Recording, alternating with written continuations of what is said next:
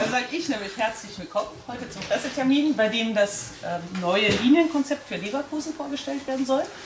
Es ist, wie Sie an der, diesem Deckblatt der Präsentation sehen, natürlich von der WUPSI entwickelt, aber es ist natürlich auch in Zusammenarbeit Zusammenarbeit, weil durch die Schokolade abgelegt, ähm, mit der Stadt entstanden, weil der öffentliche Nahverkehr zum einen natürlich für das Mobilitätskonzept ganz wichtig ist und weil auch der Fachbereich Tiefbau eben mitgearbeitet hat, auch wenn das Gesamtkonzept, so ist es richtig, von der WUPSI erstellt. Und damit darf ich Ihnen auch die Damen und Herren vorstellen, die gleich was sagen. Das ist zum einen nämlich Frau Baudezernentin Deppe, die den Einstieg machen wird und das Ganze eben einordnet, wie wichtig das für Leverkusen ist. Im Anschluss daran wird Herr Reinhard Schmitz ganz vorne ähm, als Leiter des Fachbereichs ähm, Tiefbau eben sagen, wie die Zusammenarbeit da mit der WUPSI funktioniert hat.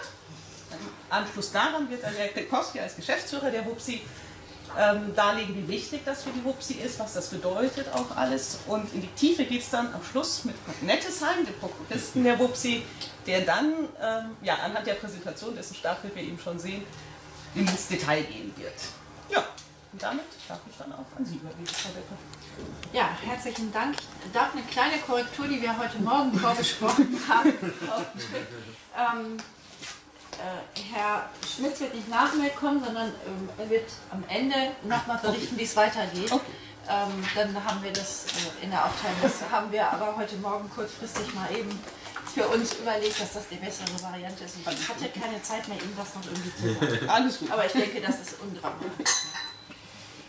Ja, ähm, Liniennetz ähm, ist für uns ein wichtiger Baustein im Mobilitätskonzept, weil ganz klar in den Diskussionen, die wir auch immer zu neuer Mobilität oder veränderter Mobilität gerade führen, wird natürlich auch immer ähm, dargelegt, ihr müsst doch erstmal äh, ein Angebot schaffen, damit die Leute tatsächlich wechseln.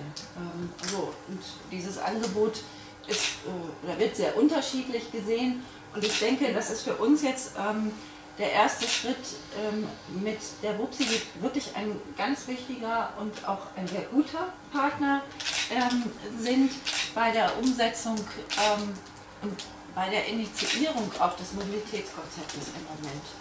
Äh, wir stehen da ja noch am Anfang, wir stehen noch mit der Analyse und den Daten.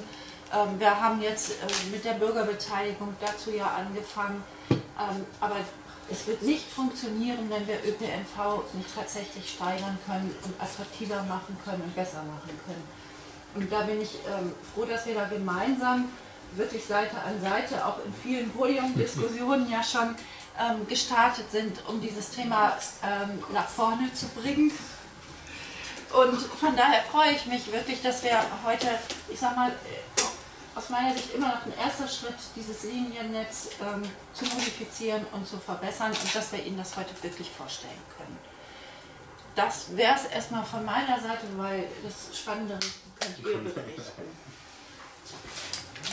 Ja, ich äh, möchte einleitend noch mal ein paar Worte äh, ähm, finden für die, die Verkehrssituation, die wir hier haben. Ähm, wir kennen ja die Situation in Leverkusen. Äh, jeder, der hier mit dem Auto fährt, steht im Stau. Es wird immer schlimmer von Jahr zu Jahr. Und wir haben natürlich auch erhebliche Probleme mit der, mit der Luftreinhaltung. Wir können den Luftreinhalteplan nicht einhalten, wegen des Stickoxidgehalts äh, in der Luft. Ähm, und äh, von daher besteht dringender Handlungsbedarf, ähm, in Leverkusen etwas zu tun ähm, an, an diesem Problem. Ein Teil des Problems ist, kommt ja nicht alles durch den, den Verkehr, aber, aber ein wichtiger großer Teil kommt eben von dem Verkehr. Das heißt also, ähm, der Verkehr, die Mobilität in, in Leverkusen muss sich äh, dringend ändern. Aus beiden Gründen. Einmal die Verkehrssituation, äh, die, die Stausituation und auch äh, um den Luftreinhalteplan in Leverkusen einzuhalten. Und wie kann das Ganze gelingen? Es kann eigentlich nur gelingen, wenn, wir, wenn es uns gelingt, hier in Leverkusen den Modal Split, also den Anteil des Individualverkehrs zu senken und den, den ähm, ich sag mal, intelligente, neue, umweltfreundliche Mobilitätslösungen zu fördern. Das ist eigentlich die Zielsetzung, die wir ja gemeinschaftlich haben, um die Situation hier zu verbessern. Und ähm, da kommt dann jetzt die WUPSI ins, ins Spiel als ähm, der, äh, ich sag mal, umfassende Mobilitätsdienstleister in dieser Stadt. Wir befinden uns ja auch als Unternehmen im, im Wandel in der Vergangenheit waren wir mehr so das klassische äh, Verkehrsunternehmen, was mit Bussen von A nach B gefahren ist. Das war sicherlich in der Vergangenheit gut und, und richtig, aber eben die Mobilitätsbedürfnisse der Menschen ändern sich und ähm, darauf muss natürlich die WUXI auch als, ich sag mal, der Platzhirsch hier vor Ort ähm, entsprechend reagieren. Und ähm, wir bieten eben neben dem klassischen ÖPNV mit unseren Bussen ähm, zusätzliche Mobilitätslösungen an, wie zum Beispiel ähm, das Carsharing. Da sind wir im letzten Jahr ja eine Kooperation mit Ford äh, Carsharing eingegangen, sodass wir jetzt auch ein attraktives Carsharing-Angebot hier in, Leverkusen anbieten. Wir wollen das noch weiter ähm, äh, ausbauen in den, in den nächsten äh, Monaten. Ähm, hinzu kommt das Fahrradverleihsystem, was wir gemeinsam mit der Stadt einrichten werden in Kürze. Und äh, wichtig ist, denke ich, auch, um, um den Leuten den, den äh, Zugang zu diesen neuen Mobilitätsformen äh, sich äh, zu gewähren, auch eine Mobilitätsberatung. Und der Schlüssel über, über all diese Mobilitätsdienstleistungen oder der, der den Zugang zu diesen Mobilitätsdienstleistungen äh, bietet und auch einen vereinfachten Zugang bietet, ist äh, auch hier die Digitalisierung, wie in vielen Bereichen, nämlich in Form ähm, einer entsprechenden Mobilitäts-App. Also wir brauchen, und da, daran äh, arbeiten wir auch, ähm, eine, Mobilitäts-App, wo alle Mobilitätsangebote in, in der Stadt äh, im Grunde genommen unter einen Hut äh, gebündelt werden. Also das ÖPNV-Angebot mit Fahrplanauskunft, äh, Ticketangeboten, ähm, dann, dann Carsharing, Fahrradverleihsystem, äh, dass sie das alles über diese, diese App im Grunde genommen nutzen können und auch ideal, auch, das ist, macht heute die Technik und die Digitalisierung möglich, dass sie auch ein, ein sogenanntes Routing haben. Also dass sie sagen können, ich möchte von A nach B und dann wird Ihnen angezeigt, mit welchem Verkehrsmittel kommen Sie am schnellsten von A nach B und was kostet das. Ist es der Bus oder ist es vielleicht das Fahrrad auf dem Verleihsystem oder Carsharing oder eben das eigene äh, Auto. Ja, aber die wichtigste Maßnahme von allen, jetzt sind wir wieder am Anfang, ist, dass wir ein attraktives äh, ÖPNV-Angebot in, in, dieser Stadt äh, schaffen. Das ist also wirklich das Aller, Allerwichtigste. Und äh, nun ist es so, dass das Angebot ja an sich bisher nicht schlecht war. Also wir haben ja, äh, wir führen ja regelmäßig auch Kundenbefragungen im, im ganzen Verkehrsverbund durch äh, über die Kundenzufriedenheit und ähm, da hat Leverkusen und die Huxi jedes Mal den, den besten Wert erzielt, also noch, noch vor, vor Köln. Und ich, das zeigt ja schon, dass wir hier in Leverkusen auch in der Vergangenheit äh, schon, schon immer auf einem guten Weg waren. Aber nichts ist äh, so gut, dass man es nicht auch noch verbessern könnte. Und ähm, wir sind hingegangen, äh, gemeinsam mit der, mit der Stadt, dass wir das aktuelle ähm, Linienangebot komplett auf den Prüfstand gehoben haben und äh, geguckt haben, wo gibt es Optimierungsbedarf, wo gibt es Verbesserungsbedarf. Und wir haben diverse Anpassungen ähm, sowohl im Bereich der Streckenführung ähm, als, auch im Betakt, äh, als auch die Taktung ähm, an die Bedürfnisse der Nutzer angepasst. Ganz spannend ist, denke ich, auch eine, eine wirkliche Neuerung, ist ein sogenanntes äh, Schnellbussystem was eine direkte Verbindung aller größeren Stadtteile äh, mit dem Bahnhof in Wiesdorf gewährleistet. Das ist also eine deutliche Attraktivitätssteigerung für die, für die Fahrgäste. Ähm, wir haben aber auch eine bessere Anbindung ähm, an den Busbahnhof in Opladen geschaffen und äh, verbesserte Anbindungen an die S-Bahn und die äh, Stadtbahnlinien.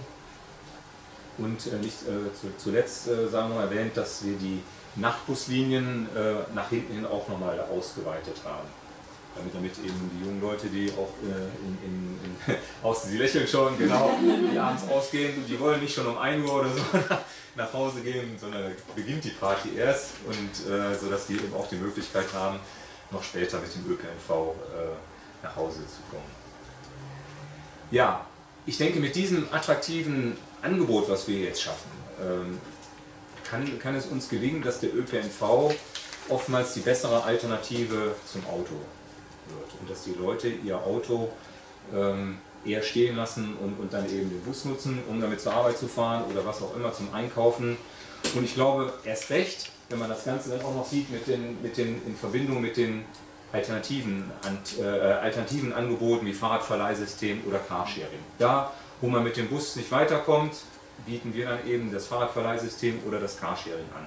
Und ich glaube, daraus entsteht insgesamt ein wirklich sehr, sehr attraktives Angebot. Und damit hoffen wir gemeinschaftlich, dass wir, dass wir genügend Anreize schaffen, dass die Menschen eben ihr Mobilitätsverhalten äh, nachhaltig ändern. Ähm, Hoffnung besteht natürlich auch, dass, äh, oder, oder das ist die ganze, ist ja die Zielsetzung, dass, dass es uns damit gelingt, ähm, unsere Klimaziele äh, zu, zu, erreichen, Luftreinhaltung zu erreichen und natürlich auch das Verkehrsproblem in, in der Stadt deutlich zu reduzieren. Ja, ich möchte an dieser Stelle äh, ganz, ganz herzlich äh, dem, dem, Team der WUPSI danken, unter der Führung von der Nettesheim, die das Ganze über viele, viele Monate äh, ausgearbeitet haben. Aber ich möchte auch äh, ganz herzlich dem Team äh, bei der Stadt Leverkusen, äh, den Planern danken, ähm, die, die, das Ganze auch maßgeblich mit unterstützt haben. Es war wirklich ein Hand-in-Hand-Arbeiten und ich denke, das sieht man auch an dem erfolgreichen Ergebnis dass, dass es wirklich eine gelungene Sache ist und eine deutliche Verbesserung. Ja, danke schön. Dann möchte ich erstmal mehr. Äh, herzlichen Dank. Vielleicht darf ich das noch ähm, ganz kurz ergänzen. Wenn man diese ganzen Maßnahmen hört, dann wird einem auch klar, dass wir das natürlich nicht umsonst haben können. Ähm, und ich bedauere das immer wieder, dass wir was ÖPNV angehen, in die Förderung im Grunde genommen nur investive Maßnahmen gefördert bekommen, aber leider nicht ähm, solche äh, Linienerweiterungen. Das wäre eigentlich für eine Stadt, die in dieser Haushaltssituation ist, äh, wirklich förderlich, weil wir werden jetzt, äh, um dieses Netz äh, so abzubilden, wie wir es Ihnen gleich zeigen und wenn die Politik es so beschließt, in den Haushalt eine Million mehr äh, eingeben müssen damit das tatsächlich auch so umgesetzt werden kann. Das ist für uns natürlich ähm, wirklich äh, eine hohe Summe, wo wir auch keine Fördermittel, Sie wissen, dass wir eigentlich ganz gut sind in Fördermittel akquirieren und ähm, auch alle Maßnahmen immer danach priorisieren, wo kriegen wir Fördermaßnahmen. Aber hier mit dem Kämmerer zusammen haben wir das oder werden das der Politik so vorschlagen, so muss man das ja formulieren. Ähm, hoffen natürlich, dass wir da auch die Beschlusslage äh, so kommt, dass wir das alles umsetzen können. Aber ich denke, da sieht man, ähm, welche Priorität und welche Wichtigkeit halt auch tatsächlich ÖPNV aus unserer Sicht hier an dieser Stelle hat. Das wäre ich noch zu ergänzen. Ja, eine, eine Million jährlich. Ja, ja, Entschuldigung, genau. Nicht nur einmalig, klar. Ne? Jedes Jahr eine Million. Ja. Gut, dass Sie das nochmal. Ja, für mich war das so klar, dass ich das schon. Hängt natürlich ein bisschen von der Nachfrage ab. Wenn es ganz, ganz gut nachgefragt wird, dann kann es auch weniger sein. Ja, das äh, hoffen ja, wir natürlich irgendwann. Aber ja, das ist erstmal die Summe, die wir genau. in den Haushalt reingeben werden und der Politik halt auch vorschlagen, ähm, damit es tatsächlich auch ein attraktives Netz ja. wird. Ja. Was geben die im Moment aus im Jahr? Ach, ja, wir haben das frei haben erwartet. Also es schwankt, wie der Herr Petros eben sagt, das schwankt natürlich mit den Einnahmen. Das heißt, wir machen von der Stadt her den Sorten Defizitausgleich. Ausgaben minus Einnahmen müssen wir der Buxi oder müssen dürfen wir der Buxi äh, dann zukommen lassen. Das ist in den letzten Jahren schwanken mal 2,5 Millionen. Ein gutes Jahr war mal mit 2 Millionen gewesen. Mhm. Äh, wir haben also mit diesen 1 Million jährlich, die wir mehr haben oder brauchen, doch einen erheblichen Batzen mehr, den wir jetzt im Haushalt dank auch der Kämmerei, muss man auch mal sagen, bis jetzt veranschlagen konnten und hoffen, dass das auch so weiter umgesetzt werden soll. Also es ist jetzt nicht äh, 10% mehr, sondern es sind erheblicher Batzen von 40, 50% mehr, die wir äh, veranschlagt, ja. veranschlagt haben. Ja. Das heißt, das Geld muss ja irgendwo herkommen. Ja, Aus welchen anderen Maßnahmen? Ja, das ist der gesamte Topf Müssen der andere Maßnahmen leiden? Oder? Ja, was heißt leiden? Das werden, werden äh, Steuern weniger. Oder Grundsteuer zum Beispiel? Wenn ich da, Entschuldigung, ganz kurz einhaken darf. Ähm, ich, ich glaube, es kann keiner ganz genau sagen, was kommt, aber alles, was Grundsteuererhöhung oder andere Steuererhöhungen betreffen würde, würde wohlgemerkt, ähm, kommt in der Haushaltsplanung und der Haushalt wird ähm, in der Ratssitzung Ende Oktober eingebracht. Also das ist jetzt auch hier nicht das Thema. Es ist, natürlich hat das Thema Einfluss auf, auf die Finanzen ne, und den Haushalt, aber wir können jetzt hier nicht über den gesamten Haushalt als solches mhm. diskutieren. Nur das vielleicht Aber natürlich kann man das Geld nur einmal ausgeben. Also ja. ich meine, da brauchen wir jetzt nicht drum herum zu reden und natürlich wird es dann irgendwo an anderen Maßnahmen eben nicht äh, gehen. Aber ich denke, wer oder der Kämmerer schlicht eine gute Verteilung der Haushaltsmittel vor, sodass äh, alle Bereiche auch etwas abbekommen und auch eine Umsetzung erfahren, und das Einzige, was wir heute damit sagen wollen, dass wir erkannt haben, dass wir ÖPNV attraktiver machen müssen, wenn wir das Mobilitätskonzept umsetzen wollen und ähm, gegensteuern zu dem, was wir im Moment verkehrlich jeden Tag erleben. Also, dass es nicht umsonst ging, ich glaube, das ist auch jedem klar, das wird man nicht hinbekommen. Ja? Das heißt, wir müssen ähm, irgendwo priorisieren, wo wollen wir das Geld ausgeben. Und letztendlich ist es im Moment erstmal ein Vorschlag der Verwaltung an die Politik.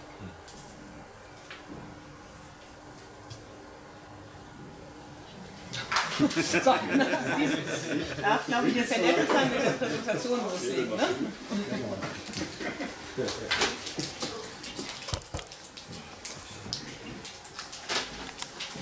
Ja, dann habe ich jetzt die dankbare Aufgabe, Ihnen dieses komplexe System, was wir uns da doch vorgenommen haben, in möglichst einfachen Worten rüberzubringen. Ich versuche das mal. Äh, vielleicht noch mal kurz, der Herr Kekowski hat es eben im Vorspann ja auch schon gesagt, wie ist überhaupt die Ausgangssituation? Es ist ja nicht so, dass der ÖPNV in Leverkusen schlecht ist. Es gibt die, die Bewertung der Kunden über das VS-Kundenbarometer, es gibt auch hier die Mobilitätsuntersuchung, die die Stadt Leverkusen im Jahr 2016 durchgeführt hat, wo sie mal zugegeben in einem etwas kleineren Vergleichskreis mit, dem, mit der Stadt Berlin, mit dem Ennepe-Ruhr-Kreis, die Bewertung des Busangebots bewertet hat und äh, da zum Beispiel das Leverkusener Busangebot von 2,7 doch auch besser wegkommt als die anderen. Also es gibt äh, Befragungen, subjektive Bewertungen des ÖPNV-Angebotes. Darauf wollten wir uns aber jetzt nicht äh, nur alleine verlassen. Wir haben auch gesagt, wir müssen uns mal objektiv angucken, wie sieht unser Angebot denn wirklich aus. Und da würde ich Sie direkt mal mit dieser Karte erschlagen, die das Stadtgebiet Leverkusen äh, hier in dem, äh, in dem, schwarzen Rahmen zeigt. Und dort ist dargestellt, wo sich die Haltestellen in unserem Liniennetz befinden ähm, und welche Bereiche mit diesen Haltestellen eigentlich abgedeckt werden, mit Radien von 300 bis 500 Meter um die Haltestellen. Und was man hier eben sehen kann, ist, dass das Stadtnetz von Leverkusen schon gut mit Haltestellen erschlossen ist. Die Flecken, die es hier gibt, sind Waldgebiete oder äh, Mülldeponien. ähm, und äh, der Rest, die, die, Wohngebiete, sind aber schon gut erschlossen. Das sind jetzt die Wupsi-Haltestellen oder sind zwischen Rheindorf und Hittorf, äh, zwischen Rheindorf, Hittorf und Opladen auch von. Das sind alle Haltestellen. Alle. Wir haben da äh, aus ÖPNV-Sicht alle Haltestellen für, die Kunden dargestellt. Ähm, das gleiche äh, gilt auch, wenn wir uns mal die ähm, Verbindungsmatrix angucken, wie sind eigentlich die Stadtteile untereinander erreichbar. Wir haben es jetzt hier mal beschränkt, wie sind die, die Stadtteile mit den Zentren verbunden, also mit Schlebusch, mit Opladen und Wiesdorf. Und überall da, wo es eine direkte umstiegsfreie Verbindung gibt, mal ein grünes Feld ausgefüllt. Sie sehen, es gibt nur vereinzelt Verbindungen, die es heute im Netz nicht direkt gibt. Da werde ich aber gleich auch an der einen oder anderen Stelle nochmal drauf zurückkommen. Also man kann ins, insgesamt sagen, dass auch wenn man sich objektive Fakten anguckt, die Erschließungsqualität, die Verbindungsqualität schon auch ganz gut zu bewerten ist. Was problematischer schon ist, ist, ähm, wenn wir uns mal anschauen, wie das Stadtgebiet Leverkusen eigentlich mit Schienenverkehr erschlossen ist. Denn wir sind zwar das Busunternehmen in der Stadt Leverkusen, aber wir sehen natürlich auch, wir sind ja auch im Verkehrsverbund organisiert, dass wir auch viele ähm, Stadtgrenzen überschreitende Verkehrsbeziehungen haben. Leverkusen hat viele Einpendler, viele Auspendler die natürlich auch nicht unbedingt immer nur mit dem Bus an ihr Ziel kommen, sondern wenn sie nach Köln oder Düsseldorf äh, müssen, eben auch das Stadtgebiet verlassen. Äh, und das natürlich insbesondere dann über den Schienenverkehr tun. Und da ist Leverkusen eben gekennzeichnet durch drei Schienenverbindungen. Das eine ist die Verbindung über den Camppark Leverkusen-Mitte, Kuppersteg-Rheindorf Richtung Düsseldorf. Das zweite ist die Verbindung von Köln kommend über den Bahnhof Schlebusch, Opladen Richtung Wuppertal. Und das dritte ist dann noch die Stadtbahnlinie 4 der KVB, die in Schlebusch endet. Wenn man sich das anschaut, stellt man zum einen eben fest, eine sehr starke Nord-Süd-Ausrichtung, die Ost-West-Ausrichtung fehlt eigentlich.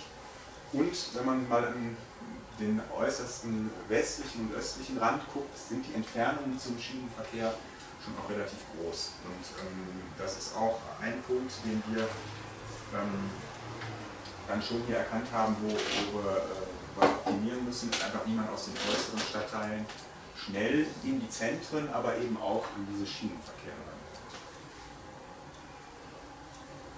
Ja, das ist letzten Endes, ähm, also was, was wir festhalten würden, ist, Herr Kukowski hat es eben auch schon mal gesagt, das Angebot ist nicht schlecht, aber es ist auch nicht so gut, dass man es nicht noch besser machen könnte.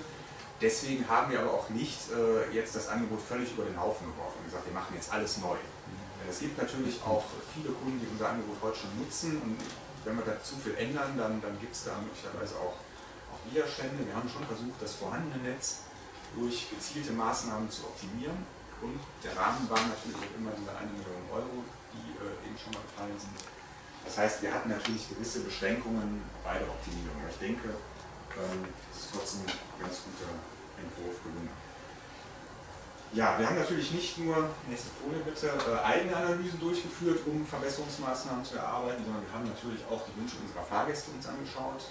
Wir haben ja ein, ein Kundenanregungsmanagement, äh, wo die Kunden ihre Wünsche äh, online, brief, telefonisch auch, auch uns zukommen lassen können. Es gibt die Mobilitätsuntersuchung, die die Stadt Leverkusen in Auftrag gegeben hat, die da einige Anhaltspunkte gegeben hat. Im Zuge der Erarbeitung des Mobilitätskonzepts ist ja auch gerade aktuell im letzten Monat der Ideenmelder äh, scharf geschaltet gewesen, wo die Bürger ja auch nochmal im Rahmen der Bürgerbeteiligung ihre Wünsche und Anregungen zum Verkehr allgemein, aber auch zum Busverkehr und ÖPNV im Konkreten angehen konnten. Auch da haben wir nochmal reingeguckt, äh, um zu sehen, was wir da ähm, berücksichtigen können. Und es gibt natürlich viele politische Diskussionen. Auch der ÖPNV ist ja, muss ich sagen, Gott sei Dank, oder kann ich sagen, Gott sei Dank auch in der Politik ein Thema, das immer mal wieder auch auftaucht und wo es Ideen gibt und Vorschläge, was man denn besser machen kann. Ähm, daraus haben wir also auf dieser Basis unsere Vorschläge dann entwickelt. Und wenn man jetzt mal die, die wesentlichen Überschriften nennt, zu welchen Ergebnissen sind wir gekommen, dann ist zum einen, dass wir sagen, wir müssen die Fahrzeiten beschleunigen. Das zweite ist, wir brauchen mehr Direktverbindungen zwischen den Stadtteilen. Das dritte ist die bessere Verknüpfung zum Schienenverkehr und das vierte die Ausweitung der Betriebszeiten. Weil ich jetzt 1, 2, 3, 4 gesagt habe, das ist jetzt keine hierarchische Ordnung, also sind alle alle gleich wichtig, da ist keine Prioritätensetzung. Ähm, ich denke, zu den ersten drei Punkten ist aus den Voranalysen schon was gekommen. Auswertung der Bedienungszeiten bezieht sich einfach noch darauf, dass unser Angebot teilweise noch äh, sehr alten äh, Strukturen nachhängt. Ich sage mal, der Ladenschluss um 18.30 Uhr, den haben wir nicht mehr im Liniennetz, bei 20 Uhr sind wir schon. Ähm, aber äh, die, die Gewohnheiten, Arbeitszeiten verändern sich natürlich schon und deswegen möchten wir auch in dem, in dem Freizeitverkehr oder auch in dem Rand des, des Pendel- und Berufsverkehrs äh, etwas machen. Ja, jetzt viel Vorgeplänkel, jetzt gibt es endlich mal ein Bild, eine Karte, die ähm, das von Herrn Kwiatkowski eben schon angekündigte Schnellbusnetz darstellt, und zwar an dieser Stelle das Kernnetz. Ähm, das Kernnetz besteht aus fünf äh, Schnellbuslinien, die an allen Tagen der Woche verkehren, äh, in der Woche im 20-Minuten-Takt am Wochenende je nach Zeitlage und Bedarf um 30 bis 60 Minuten Takt. Bei diesen fünf Linien handelt es sich im Wesentlichen um bestehende Linien, die wir aber äh, dann teilweise optimiert haben. Ich fange mal an der Reihe nach mit der gelben Linie, die SB20. Wir haben auch die Produktbezeichnung SB für Schnellbus dann gewählt, um das Ganze auch äh, deutlicher zu machen. Entspricht der heutigen Linie 220, die schon jetzt von Lützenkirchen kommt, der direkt über Trettingen und Europaring an Leverkusen Mitte fährt. Die würde sich im Linienverlauf auch nicht ändern. Die hat heute eigentlich schon Schnellbuscharakter. Da würden wir nur an den Fahrzeiten ähm, einige, ähm, äh, einige Ausweitungen vornehmen. Vielleicht können wir schon mal den einen weiter schnellen, da steht es nicht drauf. Nächste Linie wäre die blaue Linie, ist die SB21, das ist neu, das ist heute die Linie 210, die von Rheindorf Nord kommt über Leverkusen Mitte Richtung Steinbüchow fährt, also sehr große Stadtteile, ähm, bevölkerungsstarke Stadtteile auch äh, verbindet und die heute ähm, doch den einen oder anderen Schlenker noch fährt, der künftig dann weggelassen wird. Ja, zum Beispiel die S-Bahn in Rheindorf wird künftig von dieser Linie nicht mehr angefahren. Es gibt eine Kompensation, da komme ich gleich zu. Der Bereich Röderstraße würde von dieser Linie nicht mehr angefahren. Auch da gibt es eine Kompensation. Und der Bereich Klinikum würde von dieser Linie auch nicht mehr angefahren. Da gibt es aber auch genügend äh, andere Linien, die das abdecken. Dadurch gewinnen wir auf beiden Linien erst in dieser Linie sieben Minuten Fahrzeit. Ähm, Richtung Rhein auf Nord und Richtung Steinmittel und äh, haben hier denke ich, eine Verknüpfung dann mit dem Schienenverkehr. Äh, die Linie SB22 entspricht äh, oder ist entstanden aus der heutigen Linie 212, die äh, von Leverkusen Mitte ja heute über Schlebusch zum Leinacher Berg fährt. Die würde künftig auch weiterhin nach Schlebusch fahren, dann aber von Süden über den Leinacher Berg weiter bis nach Mathildenhof damit auch Mathildenhof eine schnelle, direkte Busverbindung bekommt. Hier würde sich der Fahrzeitgewinn auf 8 Minuten belaufen. Heute müssen die Mathildenhofer hier unten über den Willy Brandt-Ring fahren, der noch dazu ja auch sehr verständlich ist. Die 12 fällt dann weg oder das ist dann Die zusätzlich? 12 würde in dem Sinne wegfallen, beziehungsweise ich komme gleich noch dazu, die 12 fährt ja teilweise auch noch weiter Eben. Edelrad, da komme ich aber gleich. Gut. Dann haben wir als nächstes in der Reihenfolge die SW 23, das ist die heutige Linie 233, die von Monheim kommt, über Hittorf und Rheindorf nach Leverkusen Mitte fährt. Auch die würde hier in dem Bereich Höhlerstraße beschleunigt, würde also direkt über Westring oder auf Kallenstraße dann zum Bahnhof fahren. Ich komme gleich nochmal in der Karte dazu, was wir an- in, in dem westlichen Bereich dafür Ausgleichsmaßnahmen vorgesehen haben, für die, für die hier wegfallenden Bereiche. Ja, und dann äh, haben wir noch die äh, Linie, die hier als SB 24 gekennzeichnet ist. Das ist äh, eine Fortentwicklung der Linie 239, die von Burscheid heute ja kommt und dann über Bergische Neukirchen in Opladen endet. Ähm, wenn Sie sich an die Verbindungsmatrix erinnern, Bergische Neukirchen war der einzige Stadtteil in Leverkusen, der keine Direktverbindung nach Wiesdorf hat. Und das äh, würden wir mit dieser Linie SW 24 dann eigentlich ändern wollen, indem wir diese Linie nämlich dann verlängern. Die würde von Opladen bis Leverkusen Mitte äh, weiterfahren und zwar auch auf direktem Weg über den Europaring und aber auch durch die Bahnstadt West, also nicht über die, nicht über die Kölner Straße, sondern über die Bahnstadt West, um auch die Bahnstadt West eben zu erschließen.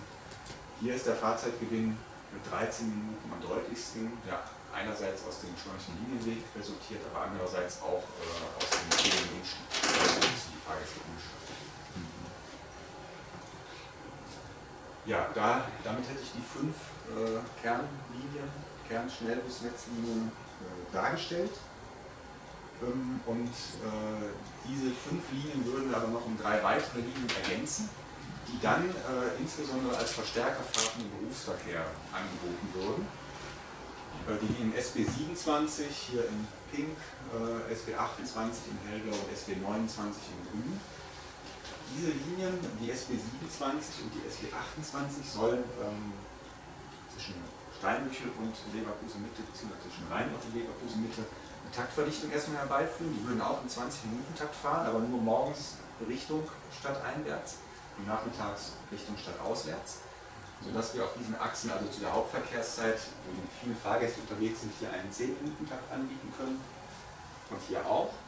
Und ähm, diese beiden Linien sind aber aus den Linien entstanden, die heute noch ähm, bei den Historikern vielleicht noch als Bayer-Linien bezeichnet werden, die Linien 221 und 224, die heute aus diesen Stadtteilen direkt zum Bayerwerk fahren. Allerdings ähm, mit einem sehr äh, äh, geringen Takt, also 30 bzw. 60 Minuten. Diese Linien würden wir hier in dieses Schnellbusnetz integrieren im 20-Minuten-Takt nach Leverkusen Mitte fahren lassen und dann aber weiter zum Kennpark, ähm, damit auch dort eine Anbindung im 20-Minuten-Takt aus diesen Stadtteilen gegeben ist. Und äh, die Linie SB 29 äh, entspricht oder ents entspringt aus der heutigen Linie 225, die auch heute schon im Mathildenhof eine Direktverbindung zum Kennpark ähm, darstellt. Auch die würde aber im Takt dann verdichtet auf 20 Minuten Takt, würde auch hier den, den S-Bahnhof Kennpark anfahren, sodass also auch aus dem Bereich Mathildenhof und Schlebusch hier eine zusätzliche Verbindung, schnelle Verbindung zum Schienenverkehr geschaffen wird.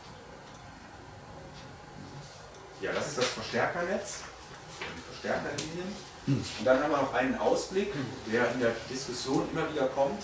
Ähm, Das ist der Bereich Kölner Norden. Ähm, Den haben wir mal hier als Platzhalter erstmal mit berücksichtigt. Also es gibt ja immer die, die, den Vorschlag und Idee, wir müssen eigentlich auch den, den Rhein überqueren, den Brückenschlag Richtung, Richtung Köln schaffen, weil heute man mit dem ÖPNV, wenn man in diesem Bereich möchte, erstmal zum Hauptbahnhof fahren muss in Köln und, und dann wieder hoch.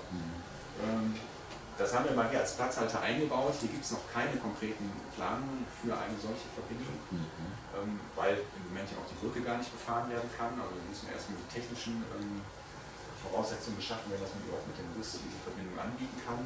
Und äh, es sind dann natürlich auch Gespräche mit der KVB erforderlich, äh, die es bisher auch noch nicht gegeben hat. Das wäre sicherlich etwas, was in den nächsten Schritten dann nochmal angegangen werden müsste.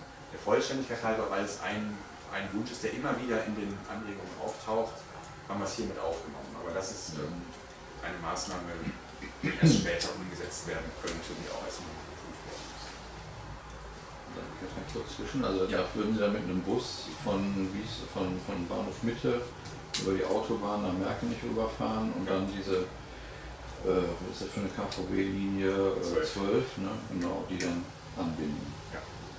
Hm, okay. Wir würden auch einmal am Fühlinger See halten oder?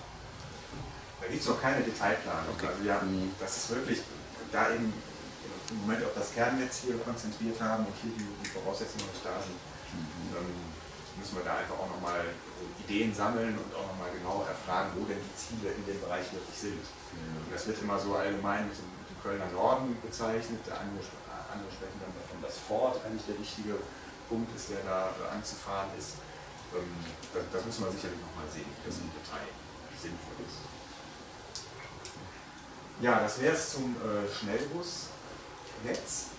Ähm, jetzt ist das Schnellbusnetz aber ja sehr stark auch auf Leverkusen Mitte ausgerichtet. Wir sind uns aber auch darüber im Klaren, wir haben ja in der, ähm, in der Grafik mit den Schienenstrecken gesehen, Leverkusen hat ja nicht nur den Bahnhof Leverkusen Mitte, sondern auch weitere Bahnhöfe, die wir natürlich auch, oder Schienenverkehre, die wir natürlich auch in der Anbindung optimieren möchten. Und da möchte ich Ihnen hier eine weitere Linie vorstellen, die wir verändern möchten.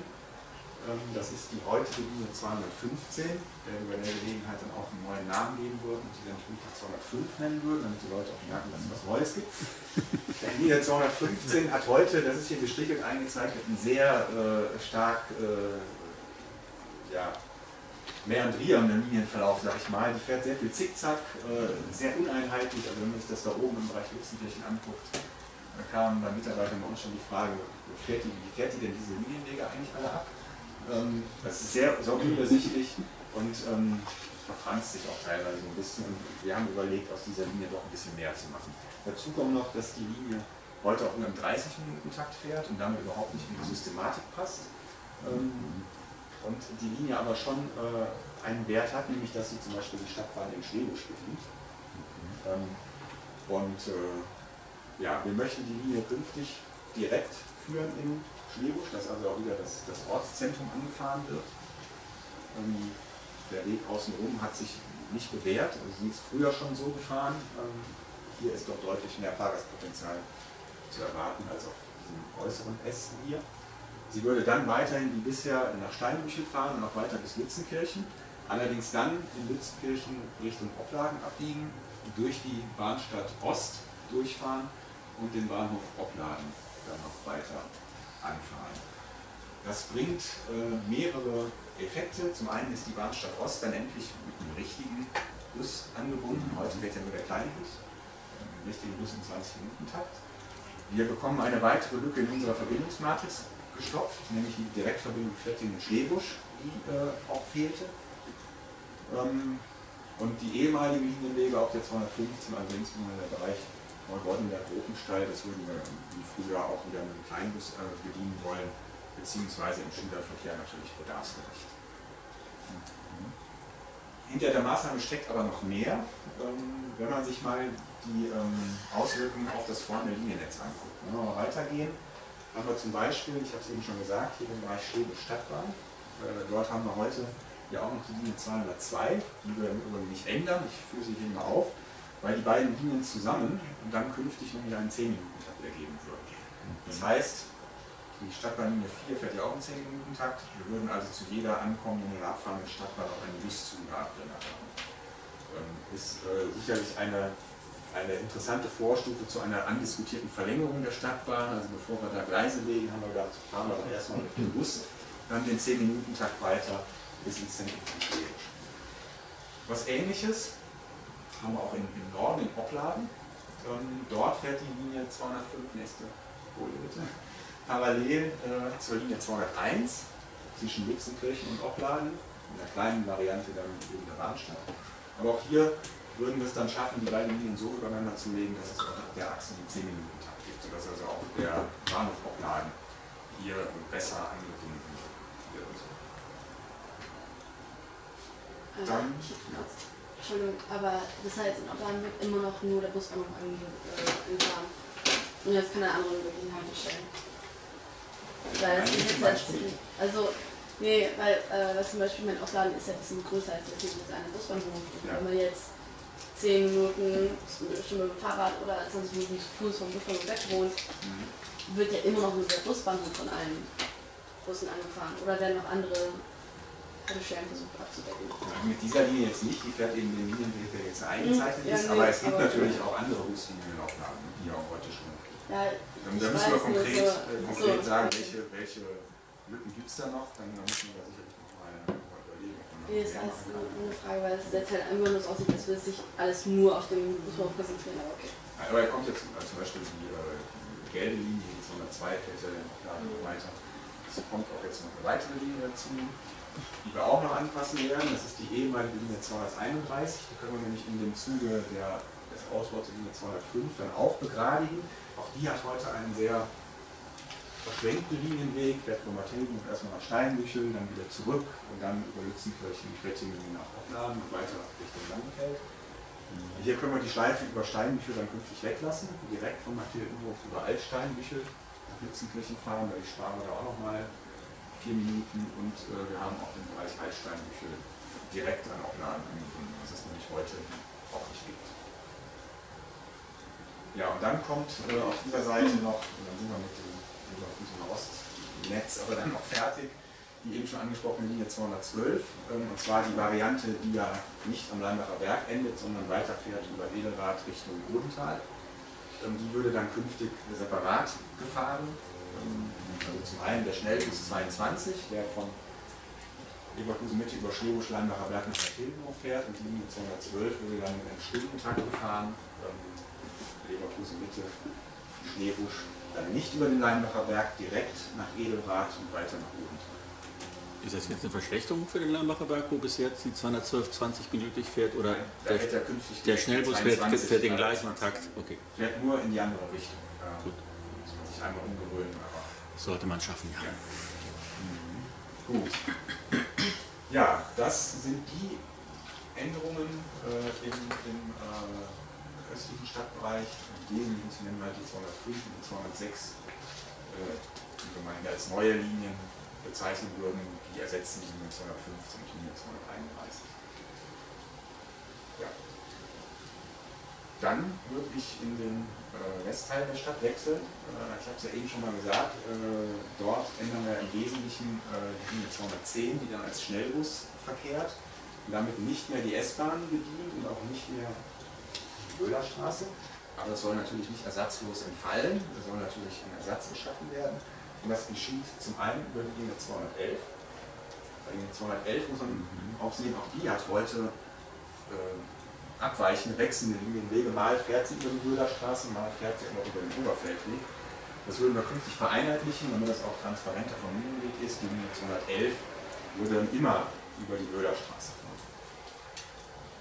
Heißt im Wechsel oder in der Konsequenz dann aber auch, dass die Linie 203, die heute über die Böhlerstraße fährt, dann auf den Oberfeldweg wechselt. Also da würde dann ein Tausch vorgenommen, ähm, aber es sind alle Bereiche noch bedient. Und dann kommt auch noch eine Linie dazu, die Linie 207, die in dem Bereich noch verkehrt. Die würde dann künftig anstelle der 210 immer über die S-Bahn fahren und zusammen mit der 211 dann die der S-Bahn in Rheindorf sicherstellen. In dem Zuge wird sie dann auch in 20-Minuten-Takt gesetzt. Sie hat heute einen 30-Minuten-Takt, ähm, damit sie auf den S-Bahn-Takt passt und der Bahnhof Küppersteg, der S-Bahnhof Küppersteg würde natürlich auch noch dann von der 210 besser anbieten. Die fährt ganz durch bis Steinbüttel auch um 20 Fährt Minuten. so wie bisher alle Linien, Ja. ändert sie sich nicht. Nur der Takt Nur der für alles. Genau. Ja, das ist so im Schnelldurchlauf äh, über die wesentlichen Änderungen. Ähm, wenn wir nochmal die nächste Folie gucken, haben wir also eine Beschleunigung der Fahrzeiten damit erreicht. Äh, wir haben punktuell auch mehr Verbindungen zwischen den Stadtteilen. Wir haben die Verknüpfung zum Schienenverkehr, denke ich, äh, verbessert und auch nicht nur zentral auf Leverkusen Mitte, sondern auch, auch andere Punkte, Opladen, Schlebusch, Küppersteg wieder verbessern. Ja, zur Auswertung der Bedienungszeiten ist noch zu sagen, ähm, dass wir die, die Bedienungshäufigkeit, also den Tagestakt, den 20-Minuten-Takt, den wir heute auf den Linien haben, heute bricht er in der Regel so um 20 Uhr ab. Wir wechseln dann in den, in den schwächeren Abend. Das würden wir eine Stunde rausziehen wollen, dass wir also bis 21 Uhr nach dem Tagestakt fahren. Und erst danach in den, in den Abendtaktwechsel. Und äh, dann haben wir noch das Nachtlinienangebot, das soll, da gibt es ja auch schon äh, Beschlüsse zu, ähm, eine Stunde verlängert werden. Also dass wir dann auch um 3 Uhr nochmal von den Bahnhöfen nochmal in die Stadtteile fahren. Ja, das sind die wesentlichen Punkte aus dem Konzept. Vielen Dank, Herr Nettesheim. Dann würde ich sagen, Herr Schmitz, Sie jetzt im geänderten Ablauf nochmal, Ja, noch wie es jetzt weitergeht. eine Ne? ganz kurze Ergänzung, vielleicht auch noch, äh, Herr Nettesheim hat jetzt die wesentlichen Änderungen dargestellt. Und natürlich, wir haben natürlich wichtige Linien, 208, 222, 227, die jetzt nicht erwähnt sind. Die fallen natürlich nicht weg. Die, die fahren noch nach. Nicht, dass jetzt irgendwie Missverständnisse auftauchen, dass jetzt alle Linien, die jetzt fahren, dargestellt sind. Es gibt noch jede Menge Linien, die nicht angepasst werden, die aber trotzdem so wie bisher fahren. Nicht, dass da Irritationen äh, auftauchen, dass jetzt Linien weggefallen sind, nur weil es jetzt hier nicht äh, erwähnt wurden. Das ist ein wichtiger Hinweis. als, als Ergänzung.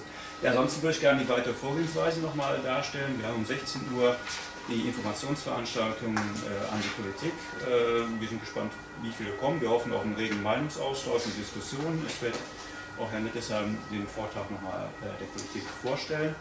Äh, Im November-Turnus wollen wir dann äh, eine Vorlage einreichen für die Politik, für den Fachausschuss Stadtentwicklung, Bauen und Planen, für die drei Bezirke und letztendlich für den Rat, der dann, hoffe ich, auch die Entscheidung trifft, ähm, dass das, äh, so wie wir das uns vorstellen, auch umgesetzt werden kann, mit dem Ziel, dass wir mit der Eröffnung des ZOB in Biesdorf, der ja für den Sommer vorgesehen ist, auch dieses Konzept dort einsetzen können, was wir eigentlich persönlich von der Stadt hier als ein wichtiges Symbol darstellen, neuer ZOB, neue Liniennetz äh, als Gesamtmaßnahme. Ähm, das haben wir uns als Ziel gesetzt. Äh, wir brauchen natürlich dafür den politischen Beschluss und deswegen werden wir dafür kämpfen. Wir werden in Beratungen gehen und hoffen, dass wir auch die Politik dann hinter uns haben. Vielen Dank. Jetzt an Sie die Frage, ob dir noch Fragen offen geblieben sind. Stapelweise, wenn ich einfach mal in die Runde. Ja. Herr Kretkowski, Sie hatten bei, im, im Funkenturm war eine CDU-Veranstaltung äh, 2030 auch das Wort. Ja. äh, kommt ja, da sagten Sie so schön, ich brauche mehr Busspuren, ich sage euch demnächst welche. Äh, das- Wort Busspur kam jetzt hier nicht mehr vor. Haben wir noch Forderungen bezüglich der Busspuren? Ja, da sind wir dran. Wir haben ja auch erste Erfolge, also Frau Depp und ich, wir, wir tragen das ja immer wieder gemeinsam vor, auch äh, bei, die, bei dieser Podiumsdiskussion. Und ähm, Wir haben ja, können, Ja. äh, ich ja kurz einhaken darf, wir haben den politischen Beschluss für die Busspur auf der Rennbaumstraße. das ist ja schon mal ein Erfolg. Die soll im Herbst umgesetzt werden im Rahmen der Sanierungsmaßnahmen TBL. Wir haben uns den Planungsauftrag auch gegeben, eine Verlängerung der äh, Busspur auf der Burscheider Straße zumindest planerisch zu überprüfen. Wir haben auch Ideen seitens dem Fachbereich Tiefbau, die wir noch abstimmen müssen, aufgrund von Vorschlägen von der WUPSI, wo wir Busspuren einrichten können. Das ist immer eine Frage, wie weit die Konsequenzen sind. Äh, Wenn Stellplätze wegfahren, sind wir in der Diskussion, aber die müssen wir aushalten. Wir werden der Politik in 2019 bestimmt Vorschläge erarbeiten und dann müssen wir sehen, wie weit auch die Politik da mitstimmt, wie weit wir da Maßnahmen äh, ja, in irgendeiner Form ergänzen müssen, wo vielleicht unverhältnismäßig äh, andere Stellplätze oder sonst irgendwie wegfällt. Das ist nicht so einfach äh, durchzuführen, wie es bei dem ersten Blick aussieht, aber wir sind dabei. Die Maßnahmen würden natürlich, da ich Ihnen vollkommen recht, das Busliniennetz noch erheblich verbessern, vielleicht die Fahrzeiten noch äh, oder sicherlich auch die Fahrzeiten optimieren. Das geht Hand in Hand, beziehungsweise sind wir parallel dabei. Also ich denke, das Mobilitätskonzept ist ja wie so ein Puzzlestück im Moment, was wir ähm, schon ergänzen. Gleichzeitig erarbeiten wir es auch noch von den Zielen, ähm, die wir alle umsetzen wollen. Ähm, und was wir aber auch machen müssen, wir müssen ja alle mitnehmen. Wir müssen irgendwie in die Diskussionen auch einsteigen und wir haben eben auch gemerkt, ähm, es gibt eben vieles, was dafür spricht und was dagegen spricht. Und wie kriegt man diesen Umbruch überhaupt geschaffen? Und ähm, wenn man dann noch sieht, welche Restriktionen haben wir, nämlich ähm, was ist die Personalressource und was können wir tatsächlich an finanziellen Mitteln zur Verfügung stellen für dieses Thema, dann haben wir im Moment aus meiner Sicht schon eine ganze Menge geschaffen. Also ähm, wenn ich an unsere erste Podiumsdiskussion ähm, äh, mich erinnere, ähm, da war noch ein Riesenaufschrei, oh, so geht es doch nicht und was, wie wollen wir das machen und wie wollen wir überhaupt starten. Und jetzt sind wir eigentlich schon mittendrin. Das ist für mich wirklich ein großen Schritt, den wir schon gemacht haben, bei all den Restriktionen, die, äh, die wir wirklich alle auch gemeinsam ja haben. Von daher, ja, es kann noch unheimlich viel gemacht werden und muss auch noch gemacht werden. Aber wir haben wirklich die ersten Bausteine jetzt äh, gesetzt und aus meiner Sicht ist das ähm, ein wichtiger Schritt, um überhaupt zu starten. Und alle weiteren Schritte müssen ähm, in die Diskussion kommen, auch mit der Politik müssen wir gucken, ähm, welche Abwägungen müssen da erfolgen. Ähm, und dann wird man sehen, wie wir die nächsten Schritte auch weiter verfolgen können. Aber wir werden nicht müde, immer weitere Busspuren zu fordern. Der Herr Schmidt sagte eben, da müssen wir auch mal eine Diskussion aushalten. Ähm, nur weil jetzt der Bus plötzlich mehr fährt, wird ja nicht am nächsten Tag äh, der Bus vollständig ausgenutzt werden. Das braucht ja eine gewisse Zeit. Was gewiss ist, kann man wahrscheinlich darüber streiten. Wie lange schlagen Sie dem Stadtrat denn vor, das Konzept erstmal zu gucken, bevor er neu entscheiden darf? Ein, zwei, drei Jahre? Dauerhaft. Ja gut, aber Ich meine, wenn, wenn, aus, dass es, dass es äh, auch funktioniert. Und sollte sich dann herausstellen, wegen allen Erwartungen, dass das Angebot nicht angenommen wird, ähm, da muss man natürlich dann in, in Jahren nochmal, zwei, drei Jahren nochmal über, über, eine, eine Nachbesserung äh, nachdenken. Aber da gehe ich ehrlich gesagt nicht von aus. Also das ist kein Testbus, wie es von dem Friedhof Reuschenberg über die Bahnstadt, sondern das ist ein Konzept, das die erwarten, das dauerhaft ist. Ja. Wie haben Sie denn die Millionen dann kalkuliert? Mit einer durchschnittlichen Auslastung auf, der, auf dem Niveau, wie man das jetzt schon sieht? Oder wie kommt die Zahl ungefähr zustande? Grundsätzlich ist, das so richtig, genau. Wir haben uns unsere bestehende Auslastung angeguckt, sind aber da äh, schon ähm, etwas vorsichtiger rangegangen und haben gesagt, auf den neuen Angeboten wird die Auslastung vielleicht nicht ganz so hoch sein wie auf den bestehenden. Zumindest am Anfang. Ja. Ja. Wenn Das heißt, schon. Wie hoch ist denn jetzt Ihre Auslastung pro Bus? Das, das müssen Sie jetzt hören. Äh, Wenn Sie sagen gleiche Auslastung, heißt das, heißt das doch irgendwie nach dem Motto, alle Sitzplätze sind statistisch überbelegt oder Sie sagen, äh, alle Sitz- und alle... Das ist ja zeitabhängig. Ja, über den ganzen Tag, oder? Ja gut, wir haben in der Spitzenzeit sind die Busse ähm, sehr gefüllt, da haben wir kaum noch freie Kapazitäten, deswegen brauchen wir auch äh, diese, diese Ausweitung noch. In den Randzeiten äh, haben wir natürlich noch freie Kapazitäten, das ist einfach so. Das, ist, ne? das kann man jetzt so, so genau nicht sagen. Aber der ganze ÖPNV ist ja letztendlich auch an die Spitze ausgelegt. Wir müssen ja in der Spitze im Berufsverkehr und Schülerverkehr morgens, da müssen wir die Menschen ja äh, wegbekommen. Frage, und zwar äh, jetzt ähm, sprachen Sie ja bereits von einer ähm, eventuellen äh, Buslinie in Richtung Köln. Ähm, was ist jetzt mit anderen Randstück gewesen? Ist das dann auch in grober Planung für die Zukunft mal vorgesehen, aber kann man noch nichts genau zu sagen, also jetzt Richtung Langfeld oder dergleichen? Da haben wir jetzt keine konkreten Also Anfragen. es- Da gibt es ja nee, auch also äh, schon, schon so- Verbindungen, die Ja, jetzt auch nicht kritisiert werden. Also es ist uns zumindest nichts bekannt, deswegen haben wir da jetzt keinen, keinen Fokus drauf gelegt. Ach so, ja. Aber wir haben natürlich immer unser, unser gesamtes Liniennetz im Auge. So, ja, das nur eine ist in genau so Richtung. Köln gibt es eben heute keine, Ja, keine Verbindung, die direkt geht. Die Ticketpreise sind für manche jetzt manchmal doch ein bisschen viel, vor allem wenn man kein Monatsticket hat, da steigen dann die Preise nochmal an, weil ja, meine, offensichtlich ist es eine höhere Leistung, die man da ja auch bringt. Also Unternehmen steigen dann die Preise für den. Also durch diese äh, Erweiterungsmaßnahmen werden die Preise nicht äh, steigen. Wir haben natürlich die regelmäßigen normalen Tariferhöhungen aufgrund der Lohntarifsteigerung oder auch weil die Dieselkosten steigen. Ähm, wird natürlich im Verkehrsverbund, über den ganzen Verkehrsverbund äh, wird es Preiserhöhungen geben, aber, aber nicht jetzt wegen dieser konkreten Maßnahmen. Ein bisschen latent eingehen. Also sind ja nicht die Einzigen, die, die ausweiten. Es gibt in vielen Bereichen die, die Bestrebungen, das Netz äh, zu verdichten und so weiter. Müsste man ja unter normalen Umständen davon ausgehen, dass es dann eher so ein bisschen überproportional äh, die Tarife steigen werden in den nächsten Jahren. Es sei denn, die Leute fangen alle an, auf einmal nur noch Bus zu fahren. Das ist nicht egal. Aber, äh, grundsätzlich wird man ja überall höhere, höheren Aufwand haben, erstmal, was ja unter normalen Umständen seinem Verkehrsverbund dazu führt, dass man sagt, okay, dann müssen wir halt jetzt noch dann eben äh, 4% drauf tun statt 2,3 oder so. Das, das ist so politisch äh, nicht gewollt. Also, Es ist überall zu sehen, da haben Sie vollkommen recht, dass das äh, ein Umdenken in der Politik erfreulicherweise stattfindet. Wir kennen uns ja schon lange, Herr Keding, und wenn wir uns mal so an unsere Anfangszeit äh, erinnern, da ging es ja eigentlich immer im ÖPNV um, um ähm, Kostensenkung, um, um Einsparungen, um Linienoptimierung äh, im, im Sinne von Kostensparen und, und, und ähm, Ein Einschränkungen. Äh, umso erfreulicher ist, dass jetzt äh, da doch ein Umdenken aufgrund der Notwendigkeit äh, ähm, Klimaschutz und, und, ähm, und, und Verkehrsaufkommen äh, stattfindet. Wir haben äh, bei unserem anderen Eigentümer im Rheinisch-Bergischen Kreis äh, wurde auch eine äh, deutliche Leistungserweiterung äh, beschlossen. Ähm, die fahren wir jetzt, machen auch ganz gute Erfahrungen damit. Mhm. Und äh, ja, Leverkusen zieht jetzt nach. Aber es ist nicht der politische Wille, äh, die Kosten jetzt äh, über die Fahrpreise auf, auf die, die Nutzer umzulegen. Mhm. Dafür wird ja jetzt eben beschlossen, dass man eine Million Euro als Stadt in die Hand nimmt, um die Verbesserungen zu, zu finanzieren. Letztendlich sind äh, Preise natürlich auch im Verbund. Ja, ja, ja. ja genau. In der, in der Verbandsversammlung drin. Ja.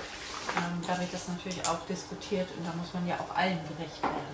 Das ist ja ein Einheitspreis. Ja, genau. Ja.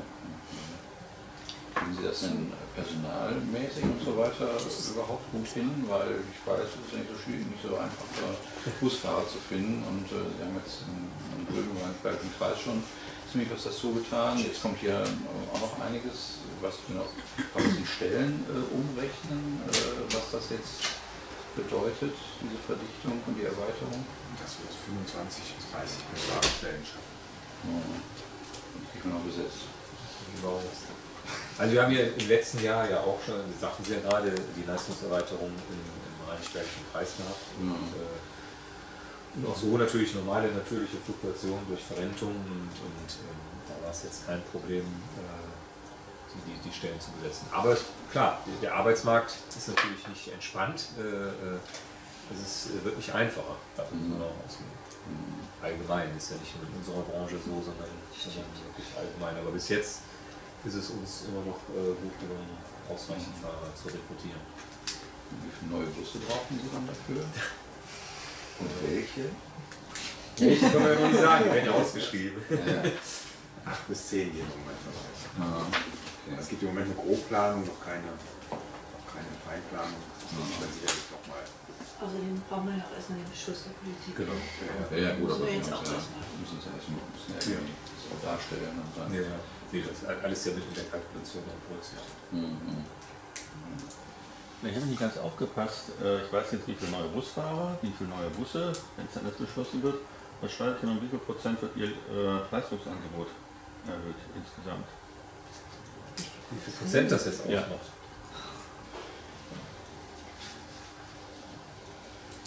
Insgesamt um äh, 6 Prozent, wenn Sie es aufs Leverkusener Stadtgebiet rechnen, um 10 Prozent. Ich habe ein eingeschränktes Weltbild in Leverkusen. 10 Prozent. Wow. Ja.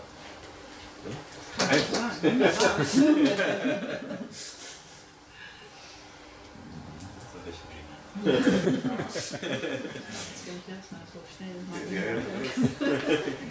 Kurz durch sechs ist jetzt nicht so schwer. Als die S-Bahn äh, samstags von Köln, also die S6, den 20-Minuten-Takt umgestellt wurde, haben Sie erstmal abwartend reagiert. Ist das jetzt irgendwie abgebildet? Nein, das wird darauf nicht reagieren. Das war einfach im Sinne der Prioritätensetzung nicht drin. Aber der, der Pendler, Pendelverkehr, der ist wichtiger, weil da auch die, die Verkehrsvolumen größer sind. Ähm, Frau Deppe, haben Sie mit den beiden, die jetzt äh, Rheindorf-Wittdorf nach Opladen fahren, beziehungsweise Opladen nach Wiesdorf fahren, die nicht Gupsi-Busunternehmen gesprochen, dass sie sich vielleicht anschließen an das Projekt?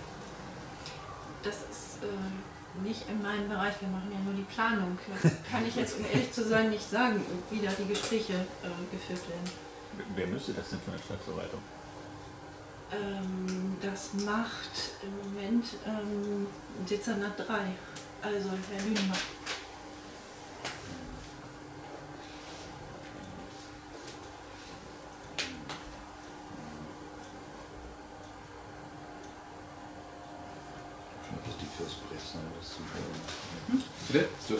Dickeres Brett sein, was da jetzt vor ist.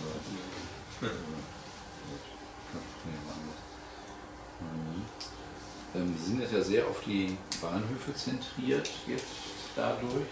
Ähm, da muss man natürlich auch zusehen, dass man, dass die Busse auch so ankommen, dass man den Zug noch kriegt. Ne? Das äh, äh, haben wir da entsprechend Luft eingeplant, weil man, Sie kennen ja, Sie kennen ja die, die Strecken, wo es dann eng wird äh, über Tag. Das Also zum einen versuchen wir natürlich im Fahrplan schon zu berücksichtigen, dass auch seine Umstiegszeiten sind. Auch der 10-Minuten-Takt in der Hauptverkehrszeit zielt so ein bisschen darauf ab, genau dieses Problem abzuschwächen. Ja. Wenn ich dann mal einen Anschluss nicht kriege, muss ich nur 10 Minuten warten und dann geht's. Das ist ja Mhm. einigermaßen erträglich. Aber da kommt natürlich auch wieder das Thema Busspuren dann, dann ins Spiel, die wir natürlich insbesondere, um das noch etwas zu konkretisieren, auf den Schnellbusachsen dann sehen würden. Und da möchten wir natürlich schon gerne auch die Infrastruktur haben, dass wir auch wirklich schnell, nicht nur direkt fahren können, sondern auch schnell fahren. Ja, es gibt ja einen Haufen vierspurige Straßen, wo man eine dann Richtig. umwidmen kann, wollen, ne? wenn man es will. Genau. Ja. mhm. ja. Auf die Regionalexpresse müssen Sie sich ja nicht irgendwie einstellen, die fahren ja sowieso. Der Fahrplan nur als Indiz. Ne? Ja, eine Idee.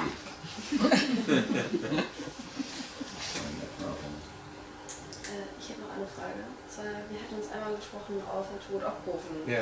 Ähm, da hatten Sie genannt, dass es eine Möglichkeit ist, oder dass Sie meine überlegen bei der RUPSI über Buses on Demand. Also, dass man diese Busse hat, wo man einfach sagen kann, Ja. ich würde um die Uhrzeit dann ab und das, der Bus nicht so wird. Das ist immer noch im Gespräch? Da oder? wir noch dabei bei den Prüfungen mit Anbietern und äh, ja, das wäre noch gegebenenfalls eine weitere Ergänzung. Das wäre dann noch Ja, zusätzlich genau. zu den neuen Linien. Das ist Ja. eine weitere Verdichtung, die wir natürlich ähm, eigentlich in der Zukunft sehen. Mhm. Ja. Also Anruf Sammeltaxi in etwas größer. Ja, so eine mit moderne einer Form. Moderne. Ja, ja. App gesteuert. Ja, und dann auch wieder die Digitalisierung. Ja, ja, aber im. Prinzip, klar. Mhm. Ja. Diesmal ist ganz dämlich. Äh, Busse werden ja auch von der etwas älteren Bevölkerung gerne benutzt. Wie soll man denen klar machen, dass sie jetzt plötzlich nicht mehr ein Smartphone bedienen sollen, sondern auch mit einer App für alles klarkommen sollen? Gibt es da irgendwelche Einleitungen oder sonst irgendwelche Hilfen für, nenne es mal Senioren? Also wir bieten ja auch Mobilitätsschulungen für Senioren Okay. an. Äh, sowas machen wir schon. Ähm, aber wir setzen natürlich, äh, wir berücksichtigen ja auch, dass wir viele, viele ältere Kunden haben. Ja. Äh, und deswegen setzen wir zum Beispiel auch anders als andere Unternehmen auch auf den persönlichen Verkauf beim Fahrer. Also wir haben keine Automaten. Ähm, das ist, ist ja ähm, eigentlich eine Seltenheit. Ne? Ja. Äh, damit eben auch eine entsprechende Beratung beim Einstieg stattfindet. Dann haben wir natürlich in unseren Kundencentern eine umfassende Mobilität, persönliche Mobilitätsberatung für die älteren äh, Menschen, sodass wir da eigentlich kein, keine Probleme sehen. Und die kennen ja in der Regel auch ihre Fahrtrelationen. Ja. Wenn, sie, wenn sie einmal wissen, die fahren ja ne, dann meist die gleiche Strecke. Und das funktioniert, glaube ich, ganz gut. Ja, okay. Was die physische Anstrengung betrifft, wir sind dabei, die Haltestellen barrierefrei auszuarbeiten. Das Das- macht man kontinuierlich bei fast jeder Straßenstandsetzungsmaßnahme, gerade in Ammann-Schlebusch die große und auch für die Bevölkerung nicht einfache Maßnahme der Mühlheimer Straße, Bergische Landstraße, die seit einigen Wochen äh, instand gesetzt wird. Da werden vier Haltestellen jetzt barrierefrei, äh, fünf barrierefrei ausgestaltet, sowohl für körperlich Behinderte, also Gehbehinderte, als auch für Senioren, die äh, sehbehindert sind, äh, um halt auch diese Barriere möglichst zu überwinden, äh, um den ÖPNV in der Hinsicht attraktiv beizuhalten oder noch zu. Weil das ja nicht nur für die Älteren, sondern auch für die Jüngeren, nämlich für die Kinderwagen. Ne? Genau. Ich vergesse immer so leicht. Genau. Auch dieses Thema, also zu meiner Zeit, als ich einen Kinderwagen noch gefahren bin, da musste man drei Stufen irgendwie hoch. Du musst immer jemanden finden, äh, der ja einem geholfen hat. Und es war wunderbar. So stand man äh, noch in einer Traube von Menschen. Plötzlich, als der Bus oder der Zug kam, war man plötzlich völlig alleine. Das hatte, äh, war wirklich irgendwie faszinierend. Auch das ist ja ähm, dann eben kein Thema mehr, sondern man kann eben dann eben ehrlich mit dem Kinderwagen rein. Ja? aus meiner Sicht auch ein großer Vorteil für Familien, ähm, tatsächlich im ÖPNV zu benutzen. Sie haben dreimal das Wort App gesagt. Ich nehme an, das ist ein Beispiel für digitale Schnittstelle. Es kann auch eine ganz normale PHP-Seite sein im Internet. Ja, ja. Aber die äh, Mobilitäts-App ist natürlich insofern spannend, weil man sie immer in der Jackentasche hat. Ne? Die ist dann immer dabei. Und meine PHP-Seite von Ihnen auch. Ohne dass Larry Page Ja, gut, weiß, was ich gerade ja, tue. Ja gut. Ja gut, aber für die meisten ist, ähm, ich sag mal, die App ja das Sinnbild dafür. Und wenn wir über Ältere reden, also wenn ich dann auch noch über die Seite gehen muss und mir das, also wenn ich mir mein, bei meiner Mutter habe ich das einmal eingerichtet und die drückt dann auf die App, ja, und dann geht das irgendwie auch, ich glaube, das ist auch äh, die Zukunft irgendwie. Ja, das müsste man sich, glaube. Musst du ja sonst auch jedes Mal wieder neu einloggen. Ne? Ja, ja. Ja, ja, genau. Nee, ich hatte jetzt ein Auto, also zum Beispiel, meine Mutter ist jetzt nicht besonders alt, aber sie damit absolut nichts am Hut und komplett überfordert von sowas. Und wenn ich mir vorstelle, dass das einfach meine Großmutter machen soll, ich glaube, das wäre Chaos. Deswegen frage ich nur. Also, Dann würden Sie die Nerven verlieren. Ich stelle nicht die Anfragen bei Ihnen. ja, genau. Kannst du mal eben, ich komme da nicht rein. Ja, ja äh, deswegen frage ich halt nach, weil äh, die Verwirrung ja auch manchmal echt groß ist. Warum hast du da eigentlich ein Auto? Nimm es doch einfach. So, dann hoffe ich, sind Ihre Fragen beantwortet.